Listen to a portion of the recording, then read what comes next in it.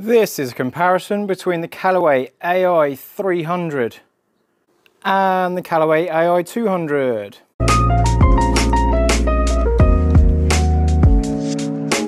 Both new clubs in the market for 2024. They've just been released and I've got the demo clubs here in store with the new demo fitting where I can play around with different lofts and different lie angles and different settings here.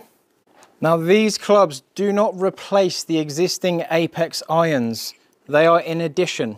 In terms of progression, you have the MB, which I don't have here, but I do have the CB, which is slightly bigger. And then the Pro is the next one up with just a little bit more help, a little bit more cavity and just a little bit more offset, so how much this bit sticks out. And then we go into the A200, which is the next one up, and then the A300. Now the 200 and 300, the A300 has a bit more offset, so this bit sticks out just a little bit more than the 200, which does reduce how much the ball goes to the right. So if you lose the ball to the right, more offset is your friend. If you tend to hit the ball left, then offset isn't necessarily your friend. In the AI 200 and 300, we've got something like this where we've got different thicknesses in different areas generated by AI technology to work out how to maintain ball speed. When you're hitting the ball off center, we get deflection on the head, but we also get different rebounds off the face. So it's maintaining that distance characteristic when we don't quite get it in the middle. So they've got that little extra boost in technology from the face. Now the faces on each individual iron are unique to its own number. So the pitching wedge face behind it is very different to the seven iron to the four iron. They're all trying to help that specific shot, that specific flight that that club is designed to generate. But I have already hit a few shots with the AI 300 and it feels very nice. I am getting that little bit of overdraw because of that little bit of offset. It just encourages that left shot. Now the AI 300 is a little bit thicker. It's got a thicker top line. It's got this bit sticking out a little bit more. So it does look very different at address. It's probably not a bad idea to go for one of these in like the five iron at your longest iron if you're using the AI 200s as the other ones. And generally speaking, I quite like that as an idea to get a little bit more help through the set. That was awful. So I'm going to take this head off. I had it on minus two lie angle, so I'm slightly flatter. When we go flatter, that ball flight just gets moved to the right-hand side a bit more.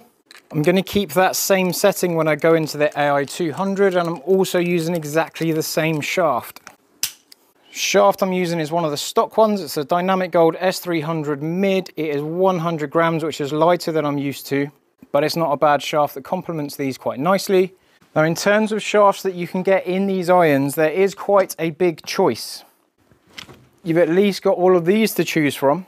And I do encourage everyone to get fitted, to go and hit the clubs and go and see what shaft works best for you. I tend to try something really light in shaft and then try something very heavy in the shaft to see what suits that golfer, just so we can narrow down what is best for each swing.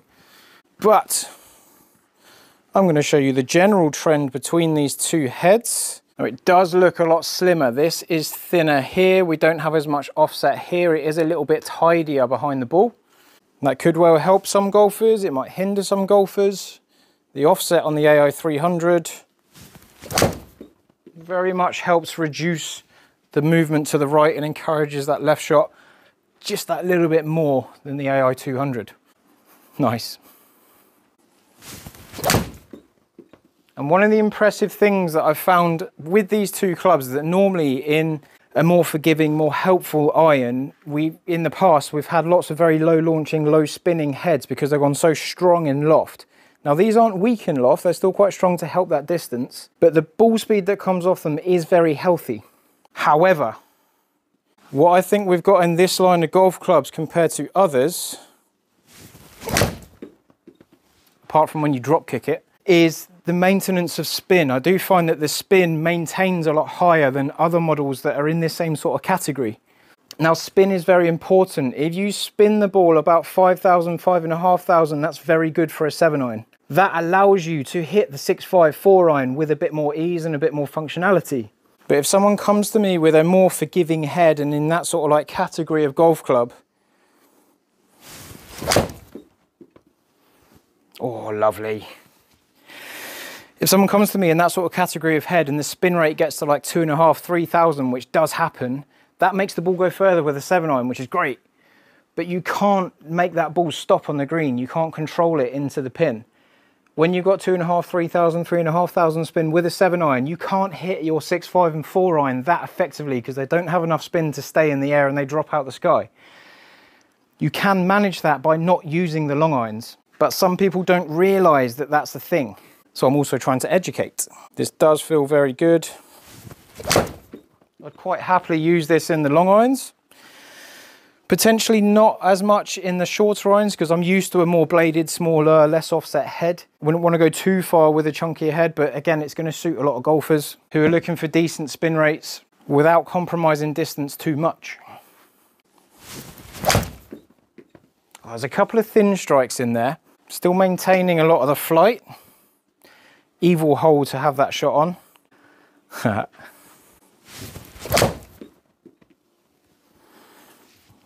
Oh, we're looking good. On the dance floor, nice. Let's have a little look at the comparison. So I want to take, I've got one shot in the AI 200 to remove, and I reckon one shot in the AI 300 to remove as well. So only taking one out of each one. Peak height, the highest point the ball reaches is 110 with the AI 300, 108 with the AI 200, very similar, just a touch lower on the AI 200, even though the AI 300 is a slightly stronger loft.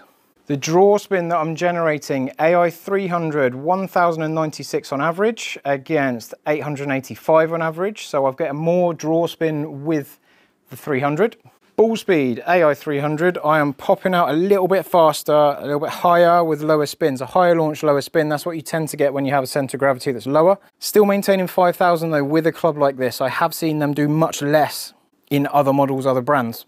186 up against 190, so I'm getting a touch more distance, probably because of that little bit of speed and that little bit of lower spin, which makes it go further, but it also makes it land very differently fairly tight consistency in terms of deviation. I'm only varying two yards from the average and varying three yards from that average. And the dispersion ring I've got up here, I'm slightly tighter with the AI 200. I've got a bit more left bias with the AI 300. I might naturally try and correct it a little bit, but the club wants to go to that left-hand side. And another data point that someone pointed out in a comment that I want to exaggerate, or I want to highlight now, I'm kind of looking for like 45 degrees in terms of angle of descent, the angle that ball comes into. 47 and a half against 47.7. We're both coming in nice and steep with that extra bit of spin compared to other clubs, which allows that ball to land in there and stop. If it comes in a bit flatter with less spin, it's going to land, it's going to bounce and run. If you land the ball short of the green, that's okay because you land short and it's definitely going to release out. But when we're trying to carry on to the surface of the green, these are looking quite tidy.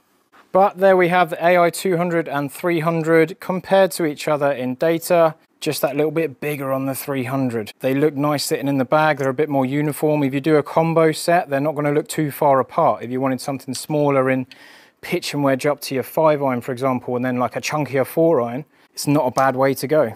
I probably would say that I wouldn't blend these sets halfway. I wouldn't go half of one set and then half of another set. I'd rather do one single club, but that's just my opinion. Have you had a hit with these clubs yet? Because they are delightful. If you do manage to have a go, let me know how you get on with them. But I think they're a nice addition to the Apex lineup and they make a lot of sense in terms of the continuity up through the bag, going from the MB, CB, Pro, AI200 and AI300. But that'll be the end of that and I'll see you on the next video.